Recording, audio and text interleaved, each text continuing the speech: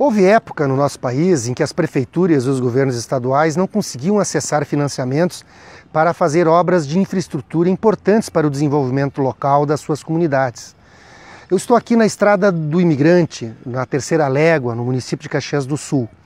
Esse asfalto da Estrada do Imigrante foi feito quando eu era prefeito de Caxias do Sul e na época nós não tínhamos recursos que podíamos acessar para fazer financiamentos para uma obra dessa natureza.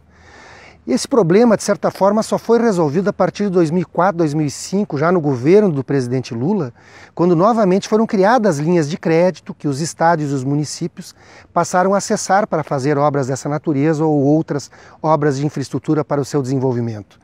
E isso é muito importante. Essa estrada aqui, por exemplo, era a estrada por onde os imigrantes italianos, ao final do século XIX, eh, subiam a serra para chegar ao que se transformou no município de Caxias do Sul.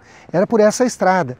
Quando nós asfaltamos essa estrada, durante a nossa gestão, isso dinamizou a economia local, seja a agricultura, seja o próprio roteiro turístico Estrada do Imigrante, que já existia, que havia sido desenvolvido uh, na parceria da Secretaria Municipal de Turismo com os empreendedores locais. Então, o asfalto dinamizou o, o roteiro turístico e a economia como um todo.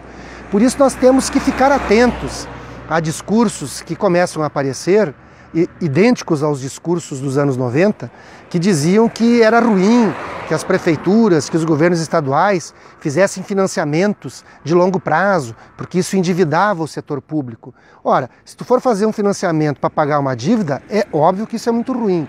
Agora, se for um financiamento para fazer uma obra importante que vai uh, promover o desenvolvimento econômico, isso não tem problema nenhum. Então, vamos ficar atentos e não vamos aceitar esse discurso que acaba fazendo com que o desenvolvimento econômico uh, não se, uh, se dinamize por conta de uma visão equivocada sobre o financiamento ao setor público.